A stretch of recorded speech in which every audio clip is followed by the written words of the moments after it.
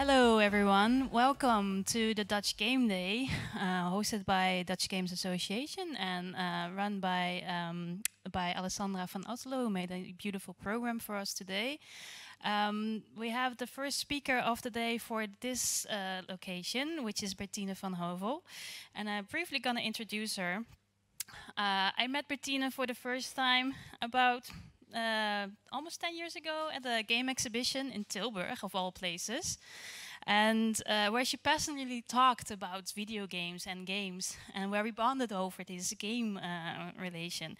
Um, and since then, we've hung out in different places around Europe. Actually, uh, that was all about games. We even met each other at randomly at uh, London. Um, what was it? London train somewhere oh, when yeah, we came back yeah. from uh, different uh, game exhibitions and events. Um, Bertine is very passionate about many aspects about uh, in game development and the game industry.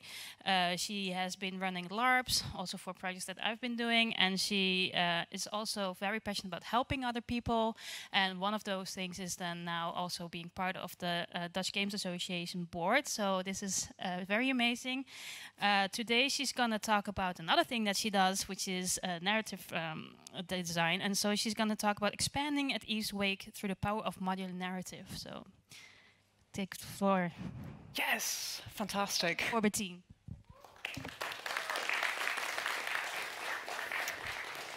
All right, yeah, so expanding at Eve's Wake through the power of modular narrative, or rather, what I prefer to talk about, why at Wake was both the best and the worst case. I just did a black, fantastic, yes, wonderful. Somebody gave me buttons, this was a bad idea. Um, so, I'm going to be uh, talking a little bit about uh, what modular design is, uh, what uh, Wake is, um, also how things didn't exactly go as planned, and also a little bit about some of the tools that we've been using for this. Um, also, as I already told you, I'm, hi, I'm Bertine.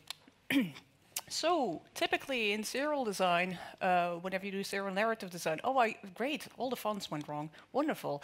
Anyway, so what you typically have in serial design is, is that you have, uh, whenever you want to introduce your dark and gritty Red Riding Hood retelling, uh, you may first have a fight with the wolf, then uh, with the hunter, and then of course your grandma, when until you get to the next plot beat.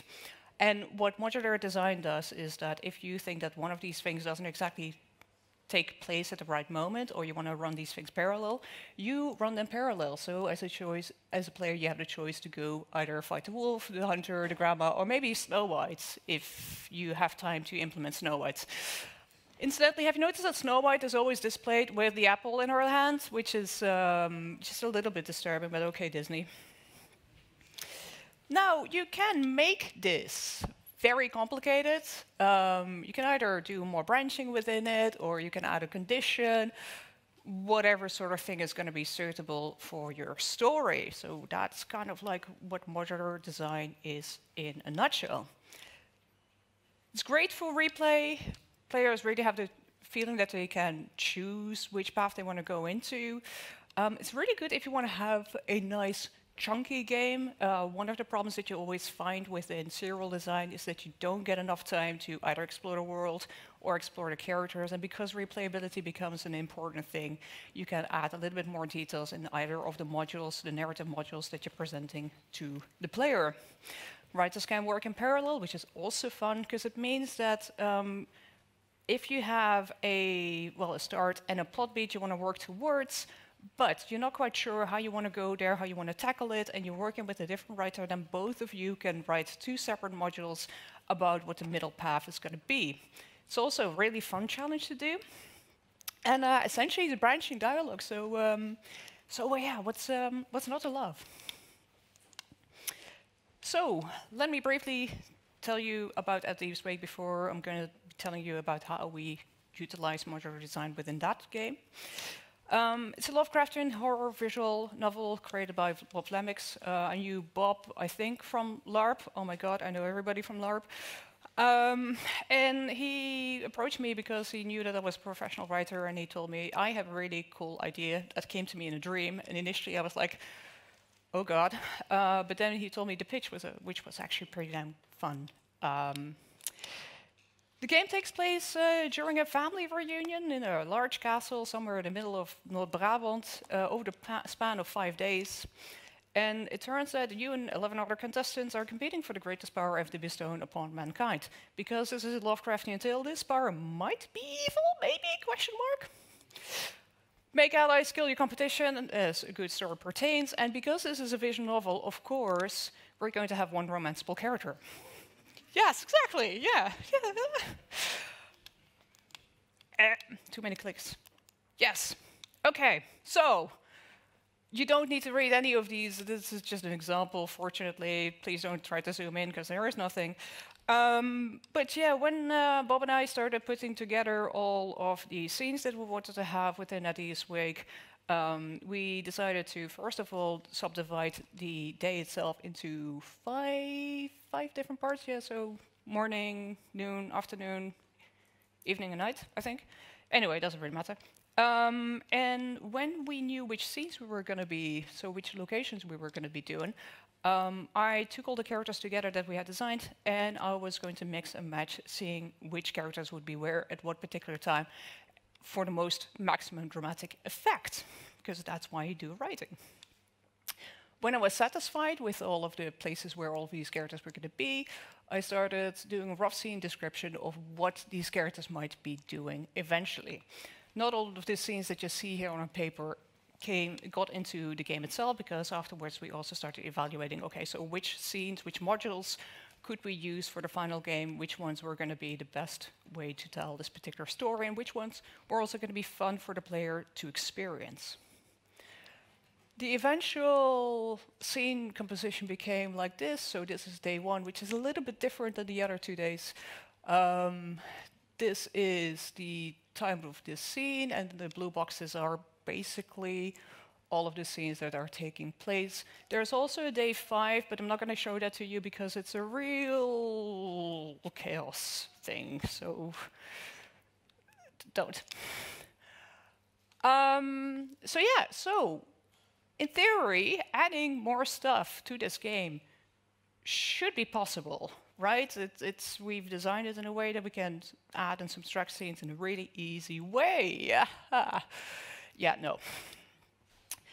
Uh, making a definitive edition was actually very hard, and the reason why it was harder than we initially anticipated is I need to actually tell you what At Eve's Wake really is.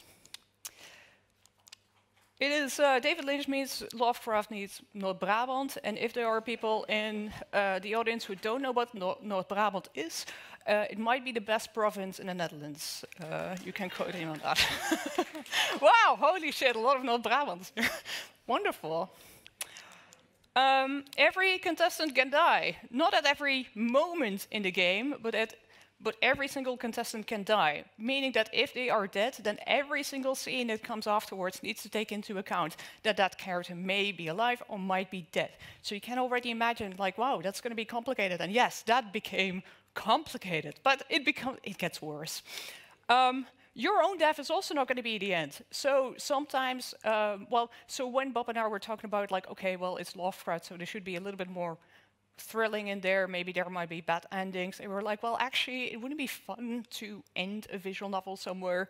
So there are ways for you to deal with your death. Um, you may also be able to reload your game, and then what you learn during the game can significantly alter subsequent playthroughs. So again, something can happen at the start of the game that can influence the rest of the scenes, every single scene that has been written afterwards, um, in ways that significantly alters the story.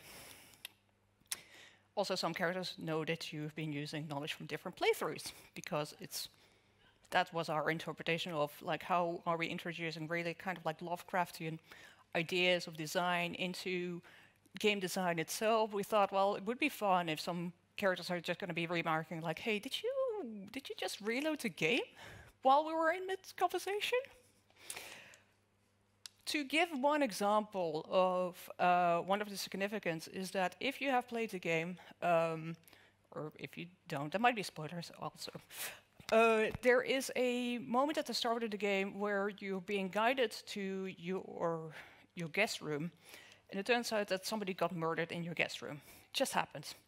Now, don't worry, this guy, not a nice guy, nobody likes him, so you can just leave him dead. But if you really want to, you can just go back to the start of the game. You can either reload it or you can restart the game, and then you get to use the knowledge of the fact that this guy got murdered in order to save this guy.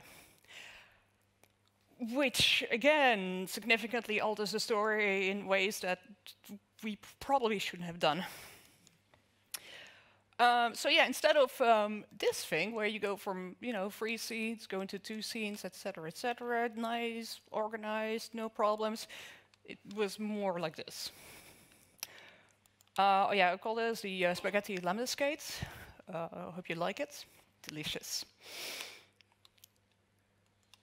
So when we came to how to design the definitive edition, we were at first playing with adding more scenes to it, but then we realized that every single scene that we were going to add would also have to take into account every single alteration that would lead up to that specific scene. And that scene would also influence all of the other scenes. So every single scene we would be adding would be just adding a significantly larger workload. Instead, we opted to have more choices of the player be reflected in the storyline and being reflected in the choices because we were thinking, well, the scenes themselves were already pretty well picked, um, but it was going to be much easier in order to just add more details rather than to add more scenes. Also, it turns out that if you are offering people to cho choose very significant differences throughout all of these storylines, you're going to be introducing a lot of bugs that you didn't really take into account um, because there are a lot of mutations between all of these different things. And most of the problems that we encountered were going to be like logical bugs, so we had to go and fix those too. The other problem is, is that the whole thing that I told you about, you know, replaying the game, all the storylines significantly, yeah, we didn't really communicate that to our players. So a lot of people had been replaying this game, or rather hadn't been replaying this game, and so they were like, "Okay, well, is this is this all of it? This is just a three-hour game." It's like, no, please, there's more. There's even a definitive ending. Um, so we had to communicate that better.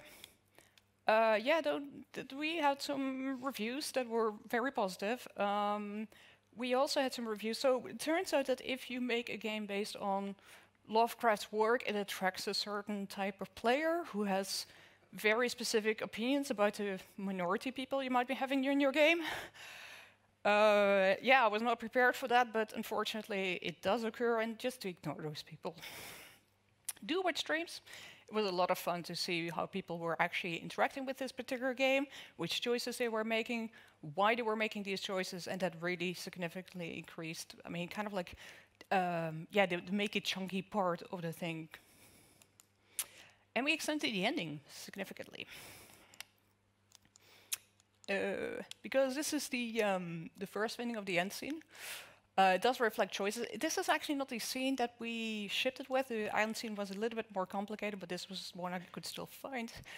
Um, so it does reflect choices, uh, but it was not really as comprehensive as we really wanted it to be. So we changed it into this.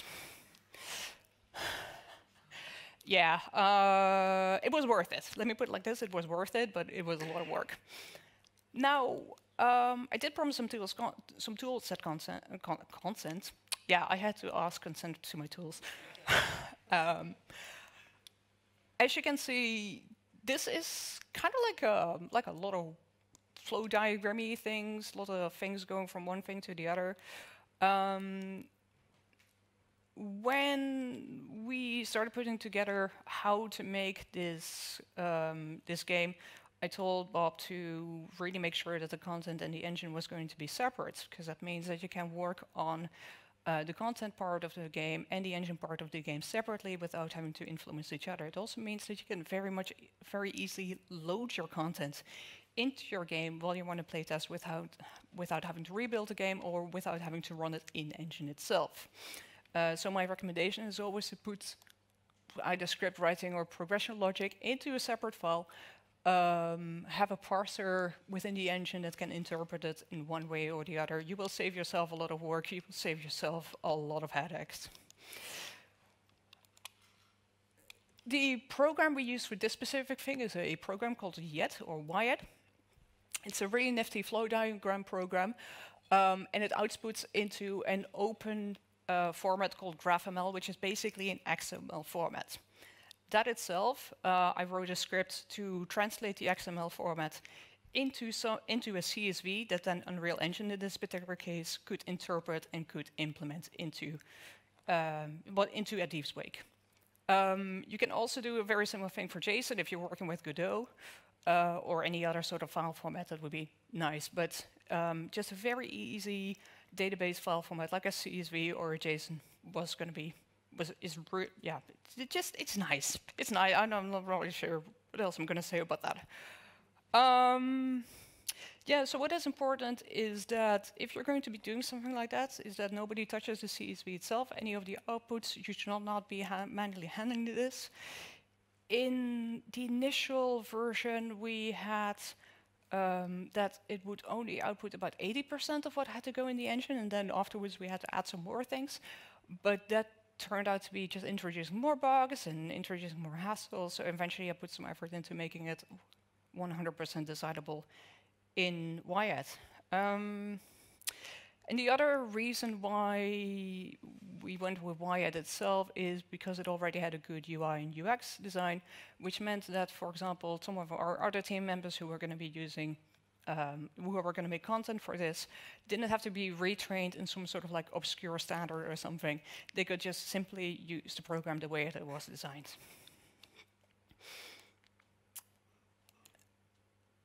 if you are asking yourself, like, wow, Bertine, um, that is a lot of effort. Uh, I won't be able to do this. Um, this script itself, I did, I did write a, a, couple of years ago. But anyway, so this script itself uh, was one of the very first things I programmed. Um, so it is kind of mentionable if you're currently only a writer or just only a narrative designer. Or you can ask your tool set programmers to help you out with that. Every toolset um, has limitations. I've used a lot of other ways of implementing narrative work into games, but your own designed ones is going to have the least issues. It's going to be more the most bespoke for the project that you're making. So yeah, in short, um, investing time in tool is really worth it. Modular narrative design is really great. It works really well for other types of projects, but not for this particular project. Um, yeah, Lovecraftian theme, it's, wonderful to work with, uh, but um, because of implications, it can go into directions that you may not want to be associated with, so be careful for that. Lovecraftian design, please don't, unless you have a bigger budget, or you have more writers, or you are really, yeah, you're really into masochism. Um, oh yeah, it's really cool to also put out a definitive edition for your work um, just to kind of like uh, be reintroduced to your own work in a more fresh manner and to re-explore the things that you've been working with, the which themes that you've been working with, and then also express those themes um, more chunky in uh, the game. It's just it's a, it's a good experience, and I really recommend it to everybody. Thanks to my wonderful teammates at, at Wake. So yeah, Bob, who put everything together. Um, wonderful co-writer. Uh, Sally Maricella's work is absolutely fantastic. Kaz, wonderful editor, really saved my skin in a few cases where I was not aware that if you combine Lovecraft with certain terms, that it gets to be very icky very quickly.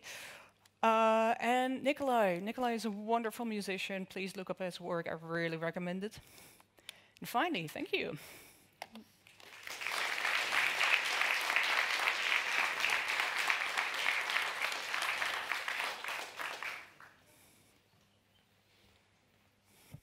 Thank you so much, Bettina. We have time for one question, so make it a good one, if any. Okay, I will throw it to you.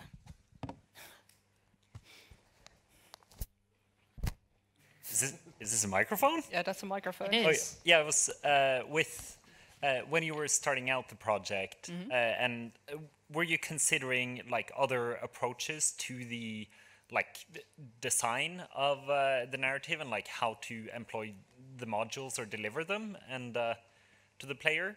Uh, and if you did, like, why did you discard other options? Um, so what we mostly decided was that we wanted to give players the ability to have multiple playthroughs, which for which mo modules were going to be great in that particular case. Um, initially, I was thinking about maybe having them more tightly fit together, uh, but it just turned out that throughout the design process, this was the most manageable with the small team and the small budget that we had. Thank you. Amazing. Well, that was the last and final question. You, uh, Bertine will still be around, so Yes, you yes, can um, uh, uh, ask our questions while around. Uh, um, in five more minutes, we will have the next talk by Ali. Um, so please welcome here, or you can go to the other sta stage. Um, thank you so much, and see you.